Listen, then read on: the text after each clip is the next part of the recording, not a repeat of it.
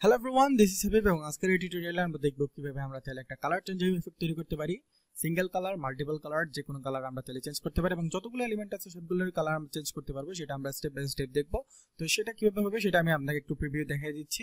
এটা হচ্ছে single colour change করার জন্য এবং আপনি যদি মাল্টিপল কালার চেঞ্জ করতে চান, সেক্ষেত্রে এরকম হবে, অর্থাৎ ব্যাকগ্রাউন্ডের কালার চেঞ্জ হচ্ছে এবং টেক্সটের কালার চেঞ্জ হচ্ছে। তো এটা শুধুমাত্র ব্যাকগ্রাউন্ড এবং টেক্সট কালার চেঞ্জ হবে এরকম না, আপনি যে কোনো কালার চেঞ্জ করতে পারেন।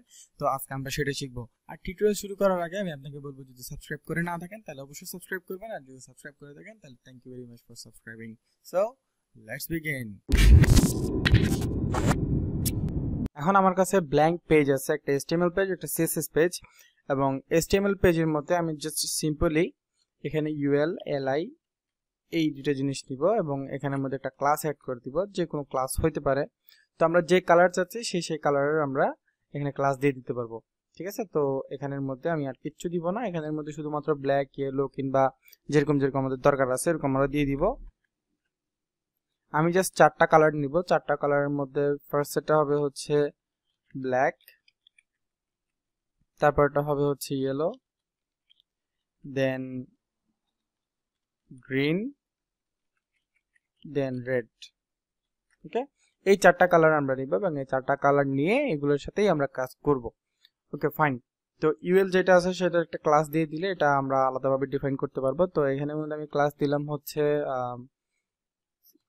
চেঞ্জ কালার কালার ঠিক আছে? চেঞ্জ কালার এটা আমরা দিলাম। তো আমরা স্টাইল ডট এর মধ্যে যাই এবং এখানের মধ্যে আমরা দেখি যে কি করতে পারি আমরা। ওকে তো change colour margin 0 and padding 0 okay, margin padding 0 দিয়ে দিলাম। Then change color li এটার লিস্ট স্টাইল নান ঠিক আছে? তো এটুকু আমরা করলাম, আমরা কোনো কিছুই পাবো না, কারণ আমরা কোনো কিছু দিই নাই, ঠিক আছে? তো জাস্ট যতটুকু আমাদের করা দরকার, ওটুকু আমরা করব। Height 30 পিক্সেল width 30 পিক্সেল ঠিক আছে? কোনো ব্যাকগ্রাউন্ড দিলাম না। And display inline block display inline block দিয়ে দিলাম। আর বর্ডারের দরকার নেই, তো বর্ডার জাস্ট আমরা এখানের ভিতরে দিয়ে দিব। যে চেঞ্জ কালার আছে সেটার মধ্যে। প্যাডিং এটা প্যাডিং আচ্ছা প্যাডিং আমরা অলরেডি জিরো করে দিয়েছি। তো সে প্যাডিংটা আমরা এখানের মধ্যে ফাইভ পিক্সেল করে দিই five pixel padding and border border F one F one background colour white ঠিক আছে, এটা আমরা দিলাম। দেওয়ার পরে এখানে এসে জাস্ট আমরা যদি রিফ্রেশ করি। আচ্ছা কিছু নেই, ঠিক আছে। এখানে থাকার কথা। এখানের মধ্যে যদি আমরা বর্ডার ওয়ান পিক্সেল সলিড এটা দিয়ে দিই, তাহলে মনে হয় দেখতে পাবো। ঠিক আছে, এখানে কিন্তু আছে জাস্ট আমরা বুঝতে পারতেছি না। ঠিক আছে? আর একটু ঘাড়াঘুরি দিয়ে আমি করে দিই সি সি সি তাহলে এখন বোঝা যাচ্ছে। ঠিক আছে? এখন আছে, তো এই যে এটাকে আমরা একটা ফিক্সড করে ফেলব, সেটা হচ্ছে ডিসপ্লে ইনলাইন ব্লক তাহলে কিন্তু এটা নির্দিষ্ট পরিমাণ চলে আসতেছে। আচ্ছা এবং এই যে এলআই যেটা আছে, সেটার মধ্যে স্পেসিফিক ভাবে যেগুলো আমরা দিয়েছিলাম ব্ল্যাক ইয়েলো গ্রিন রেড ওগুলোকে আমরা ঠিক মতো দিয়ে দিব। তো যখন এলআই এর মধ্যে একটা ক্লাস থাকবে, সেটা হচ্ছে ব্ল্যাক তখন ওটার ব্যাকগ্রাউন্ড হবে হচ্ছে two two two kind of black ঠিক আছে? এটা একটা আসছে। আর সেম জিনিসটাই আমরা করব। সেম জিনিসটা আমরা এখানের মধ্যে একটু দিয়ে দিলাম। ব্ল্যাকের পরে ইয়েলো ইয়েলোর জন্য আমরা দিব হচ্ছে ইয়েলো দেন আমরা ইয়েলোর পর এখানে রেখেছি গ্রিন গ্রিনের জন্য আমরা দিব হচ্ছে গ্রিন গ্রিন অ্যান্ড রেডের জন্য আমরা দিব হচ্ছে রেড ওকে তো এই জিনিসটা আমরা দিলাম। দেওয়ার পর এখানে যদি দেখি, তাহলে এখানের মধ্যে চারটা কালার চলে আসতেছে। ওকে ফাইন তো এগুলো আসলো। তো এটাকে যদি আমি পজিশন ফিক্সড করে দেই ফিক্সড বটম অর আমি চাইলে টপে নিয়ে যেতে পারব। Top ten pixel fifteen pixel right fifteen pixel আর যদি দেখতে ছোট মনে হয়, তাহলে আমি এগুলার হাইট উইট যদি বড় করে দিই ফিফটি ফিফটি করে দিই। ঠিক আছে? তাহলে আমি কিন্তু আমরা বড় বড় করে দেখতে পাচ্ছি।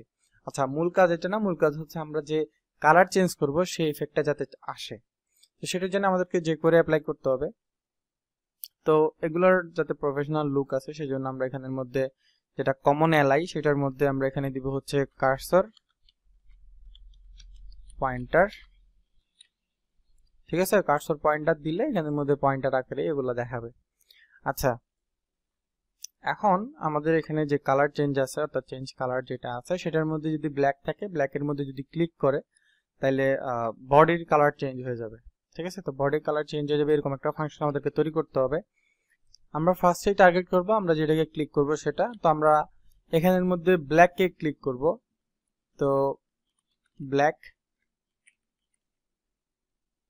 ব্ল্যাককে যদি আমরা ক্লিক করি অন ক্লিক বা অন ক্লিক ফাংশন ওকে তো অন ক্লিক ফাংশন ফাংশনের মধ্যে কি চেঞ্জ হবে? বডির কালার আমরা চেঞ্জ করতে যাচ্ছি। তো বডির কালার বডির ব্যাকগ্রাউন্ড কালার যেটা, সেটা চেঞ্জ হয়ে যাবে। তো সেজন্য আমাদেরকে ফার্স্টে বডিকে টার্গেট করতে হবে। তো ডলার সাইন অ্যান্ড বডি সম্পূর্ণ বডি সিএসএস অ্যাপ্লাই করব আমরা CSS and background colour background colour হবে হচ্ছে টু টু টু ঠিক আছে? Okay, it's not working. I don't know why, but it will work.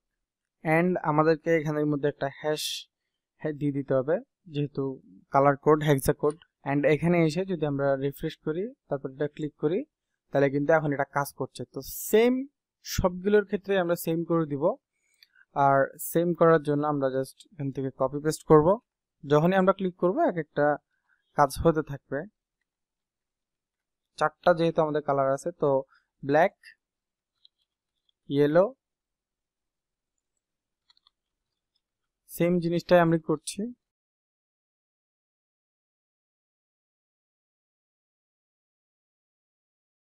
ঠিক আছে, তো এখন আমি যদি এখানে আসি এবং রিফ্রেশ করি, তাহলে ইয়েলোর জন্য ইয়েলো এবং ব্ল্যাকের জন্য ব্ল্যাক গ্রিনের জন্য গ্রিন রেডের জন্য রেড এবং আপনি চাইলে যে কোনো কিছু চেঞ্জ করতে পারেন। সে ফর এক্সাম্পল আমি যদি এখানের মধ্যে কোনো ট্যাক্স রাখি ইউএল এর ইউএল ছাড়াও কোনো যদি আমি ট্যাক্স রাখি এইচ ওয়ান এখানের মধ্যে যদি আমি রাখি হাবিব প্রো ঠিক আছে? তো জেনারেলি এটা থাকবে হচ্ছে এরকম। ঠিক আছে? যখন আমি এটাতে ক্লিক করব, তখন এটা কালোই থেকে যাবে। তো আমি যদি এখানে কালার না রাখতে চাই, আমি যদি কালার চেঞ্জ করে দিতে চাই, সেক্ষেত্রে বডির যে কালারটা থাকবে, সেটা আমাদেরকে চেঞ্জ করে দিতে হবে। তো আমি এখানের মধ্যে মাল্টিপল যে সিএসএস সেটা অ্যাপ্লাই করব। অ্যান্ড এইভাবে এখানে আসব।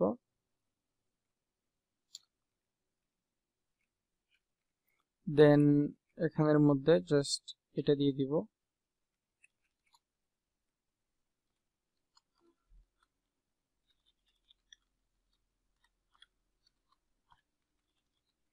কালার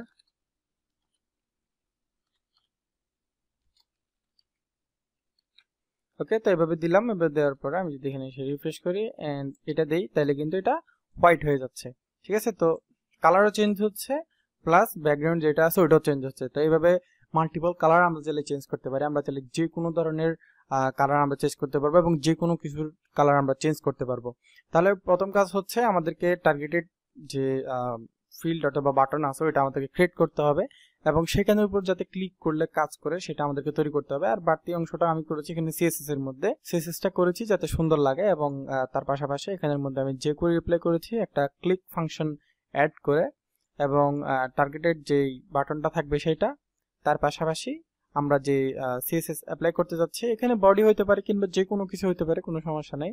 তো এখানে যে কোনো একটা ক্লাস ইউজ করবেন কিংবা বডি ইউজ করতে পারেন। যদি ব্যাকগ্রাউন্ড চেঞ্জ করতে চান বডির কিংবা এখানের মধ্যে যা যা অ্যাপ্লাই করতে চান সেভাবে অ্যাপ্লাই করতে পারেন। তো সিঙ্গেল সিএসএস চাইলেও অ্যাপ্লাই করতে পারবেন, কিংবা মাল্টিপল সিএসএস চাইলেও অ্যাপ্লাই করতে পারবেন। এবং স্পেসিফিক কোনো বডির ক্লাস হয়ে থাকলে, সেক্ষেত্রে সেটারও চেঞ্জ করা যাবে। সব কিছু চেঞ্জ করতে হবে এমন কোনো কথা নেই। যেটা দরকার, শুধুমাত্র সেটাকে টার্গেট করলে ওইটাই চেঞ্জ হয়ে যাবে। ঠিক আছে? তো আই হোপ বুঝতে পেরেছেন যে মাল্টিপল কালার কীভাবে আমরা তাহলে চেঞ্জ করতে পারি একসাথে। তো আজকে টিউটোরিয়ালের জন্য এতটুকুই। যদি ভালো লাগে তাহলে লাইক দিবেন আর সাবস্ক্রাইব করবেন পরবর্তী আপডেট পাওয়ার জন্য প্রতি সপ্তাহে Tuesday to Friday seven P M GTM plus six তো thank you much for watching this video. Don't forget to subscribe and I will see you in next episode.